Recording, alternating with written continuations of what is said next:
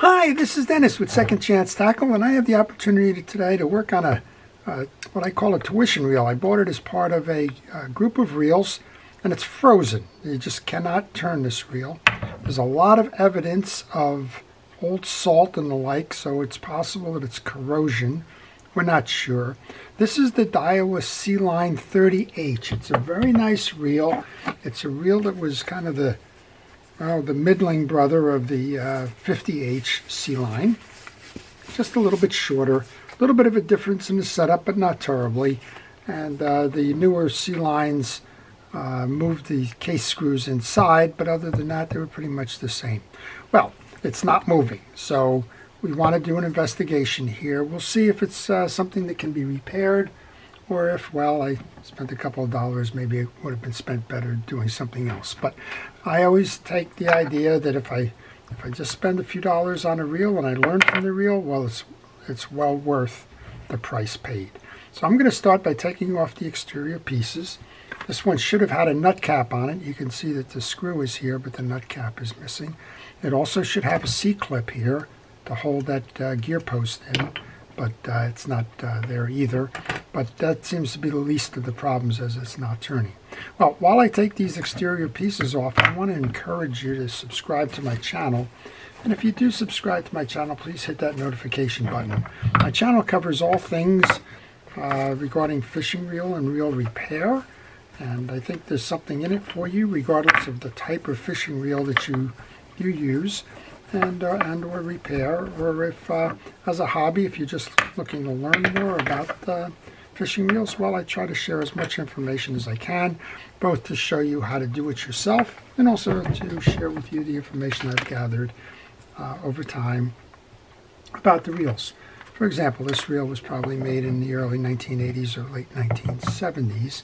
And I'm just so curious about this because these reels are generally speaking are very, very strong reels.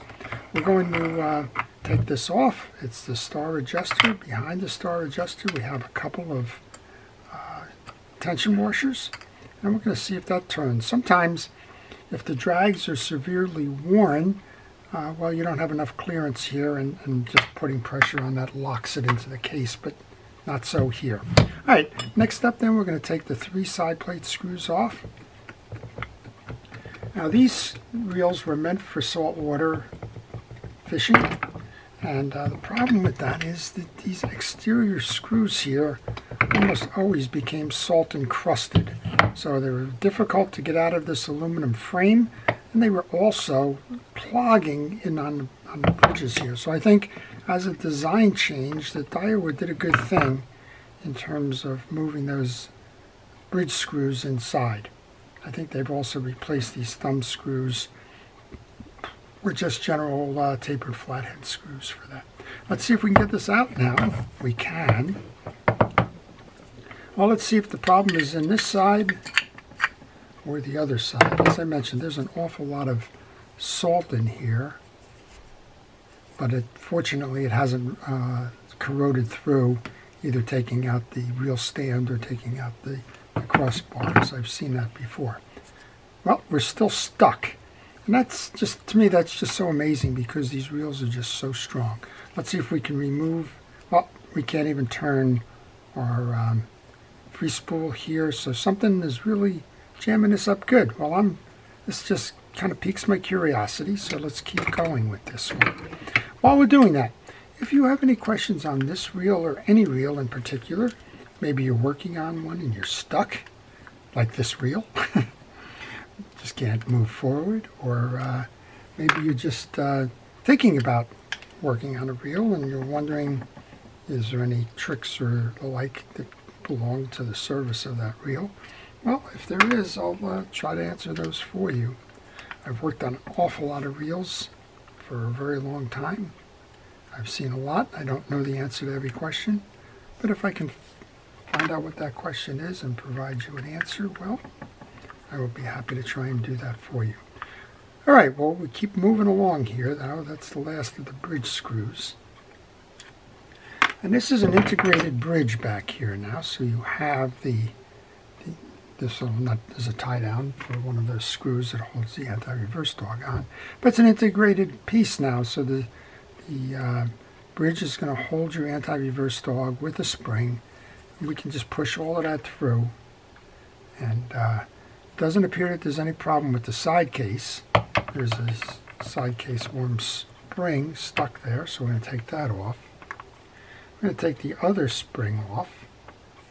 Let's take the yoke out now. Well, it's not the yoke or the gears as much as these haven't been serviced. That's not the cause of why this is stuck.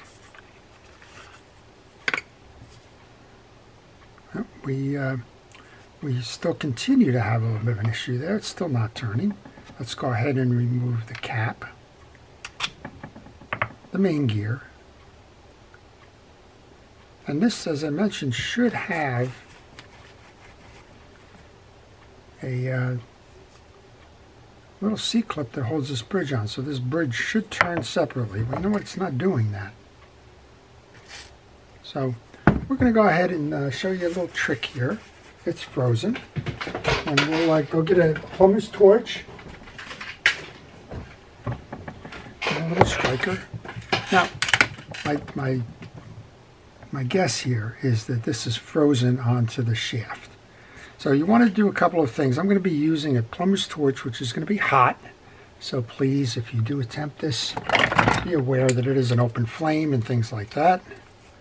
I'm also going to try and grab it with a pliers where there is two flat sides. Don't want to touch the threaded section of this. That's not going to uh, help at all. Why am I going to use heat? Well, heat expands metal and different metals expand differently. So we have a gear shaft here and we have an inner uh, bridge post.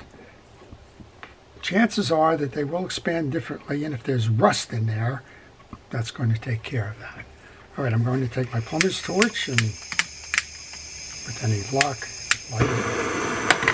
And then I'm just going to run it. You don't need to run it very long. I run it up and down that gear sleeve see if we can't clear that up a little.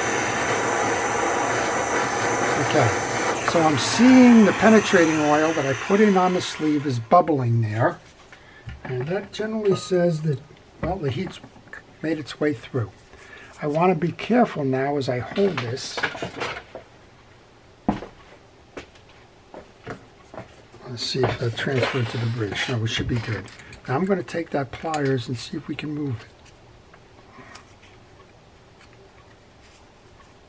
Well, what we wanted to do is we wanted to grab that and see if we could turn the bridge now. We can. Unfortunately, what's happening here, I can see it. I don't know if you can see it. This stud is turning too, which means that the rivet in the back here is turning, which says that we have a, a bridge that has a frozen gear sleeve on it. And unfortunately, when that rivet starts turning, the bridge is shot. The only way that you can repair this reel is to buy a new bridge and uh, buy a new gear sleeve and do that. So how did that happen? Uh, rust. It's a steel post and uh, left unattended, left unserviced. You can see there's all kinds of greening. The internal parts, are, it's obvious, have not been serviced in quite some time. And without the, uh, the lubrication and with the saltwater environment, well, that's what caused the failure here. So, did I lose anything? No, I learned something from it. I've seen this happen a number of times on Penn reels and other reels uh, where that's the exact issue that's occurred, where the rust has taken over because the reel was not uh, serviced properly. Well, and you uh, and you pay for that lack of service. So in this case, I got a parts reel. But uh, I also got an education that says that uh, I can help people by letting them know that uh, an ounce of prevention, right, uh, is worth it all. So I hope you've enjoyed that. I hope you learned a little bit about that. And uh, I hope you stay watching. Uh, to our first responders and essential personnel, thank you for everything it is that you do. To everyone, please stay safe, stay well, and stay watching. This is Dennis with Second Chance Tackle. Have a great day.